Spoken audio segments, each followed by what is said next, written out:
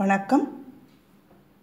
இந்த லெசனில் நம்ம தே ஃபார்ம் பார்க்க போகிறோம் தே ஃபார்ம் அப்படின்றது என்னென்னா ப்ராக்ரெசிவ் ஃபார்ம் அப்படின்னு சொல்கிறோம் ப்ராக்ரெசிவ் ஃபார்ம் அப்படின்னா என்ன அர்த்தம் அதுக்கு அப்படின்னு கேட்டிங்கன்னா தமிழில் சொல்லணும்னா அதுக்கு வந்து வினையச்சம் அவ்வளோதான் இப்போ செய் அப்படின்னு ஒரு வினைச்சொல் இருக்குது அதை செய்து அப்படின்னு சொல்லும்போது அது வினை எச்சமாக மாறுது. செய்து போய் வந்து அப்படின்னு நம்ம சொல்கிறோம் படின்னா படித்து அதுக்கப்புறம் அது அப்படியே கண்டினியூ ஆகுது. ப்ராக்ரெஸ் ஆகுது.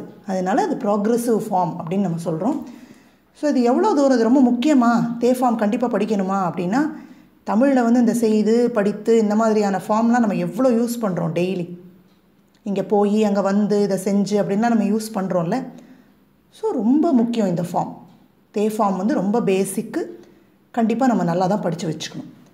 தே ஃபார்ம் கண்டுபிடிக்கிறதுக்கு முன்னாடி நம்ம வந்து குரூப் ஒன் வேர்ப்ஸ் சும்மா ஒரு கொஞ்சம் எக்ஸாம்பிள் பார்க்கலாம்.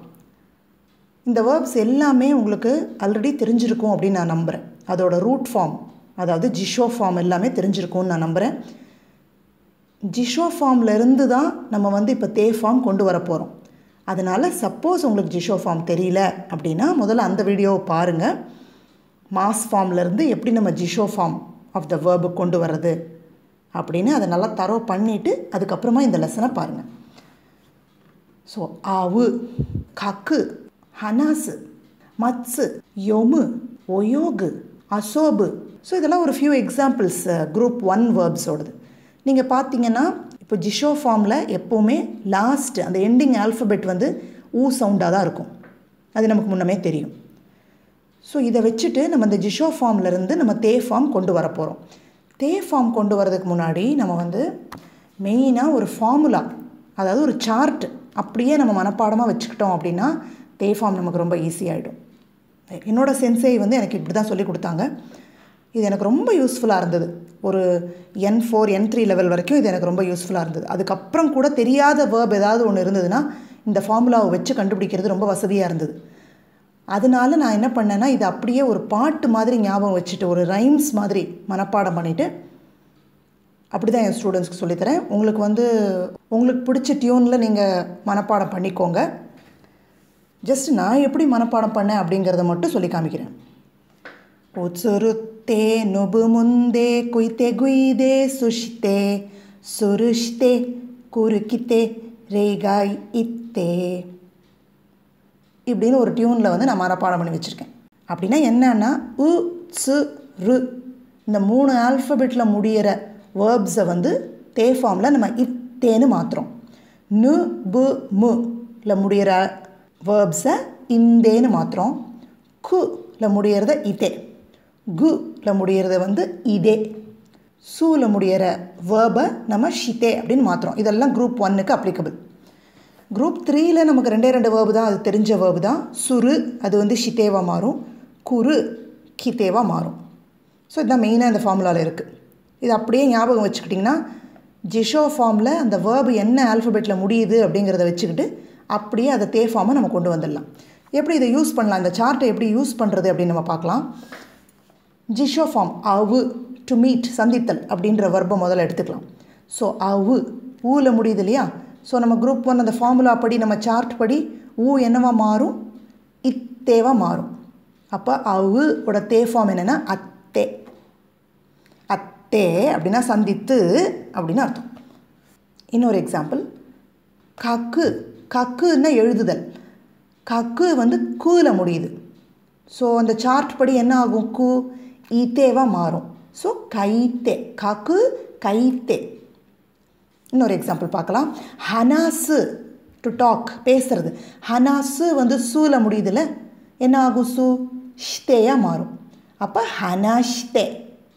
பேசி அப்படின்னு அர்த்தம். ஹனாசு ஹனாஷ்டே. இந்த ரைம்ஸை வச்சுக்கிட்டே நம்ம வந்து தே ஃபார்ம் கண்டுபிடிச்சிடலாம். இது வந்து குரூப் ஒன்னுக்கு இன்னும் ஃபியூ எக்ஸாம்பிள்ஸ் நம்ம கிடுகிடுன்னு பார்த்துடலாம். மட்ஸு ஸு எங்கே வருது? ரைட் ஹேண்ட் சைடு அந்த சார்ட் கொடுத்துருக்கேன் பாருங்கள் அதில் செக் பண்ணுங்கள் மட்ஸு என்ன ஆகும் சு வந்து இத்தேவாக மாறும். ஸோ மத்தே. நிறைய கேள்விப்பட்டிருப்போம் இந்த மத்தேங்கிற வேர்டை மத்தே குதாசாய் ப்ளீஸ் வெயிட் பண்ணுங்க அப்படின்றதுல நிறைய கேள்விப்பட்டிருக்கோம். மத்தே அப்படின்ற வார்த்தை யோமு டு ரீட் படிக்கிறது. யோமு மு எல்லாம் தான் கொஞ்சம் வித்தியாசமாக வரும். மு எங்கே இருக்குது பார்த்தீங்கன்னா ரெண்டாவது லைனில் இருக்குது நு பு மு. அந்த மூணு ஆல்ஃபபெட்டும் இந்தேவாக மாறுது. ஸோ யொமு யொந்தே. ஒயோகு நீஞ்சிருது. ஒயோகு இதே கு வந்து இதேவாக மாறுது. லாஸ்ட் ஒன் அசோபு. விளையாடுறது. அசோபு. பு என்னவாக மாறும்? அதுவும் இந்தேவாக மாறும். அசோந்தே. ஸோ இப்படி தான் நம்ம வந்து குரூப் ஒன்னுக்கு நம்ம தே ஃபார்ம் கண்டுபிடிக்க போகிறோம் அடுத்தது நம்ம டைரெக்டாக குரூப் த்ரீ வேர்ப்ஸ்க்கு போகிறோம் ஏன் நடுவில் குரூப் டூ என்ன ஆச்சு அப்படின்னு கேட்டிங்கன்னா குரூப் டூக்கு நம்ம எப்போவுமே பிரச்சனையே வராது. ஃபார்முலாவே கிடையாது. ஜஸ்ட்டு அந்த ரூட்டை எடுத்துகிட்டு நம்ம தேவை போட போகிறோம் அதனால் குரூப் டூக்கு ஃபார்முலா கிடையாது.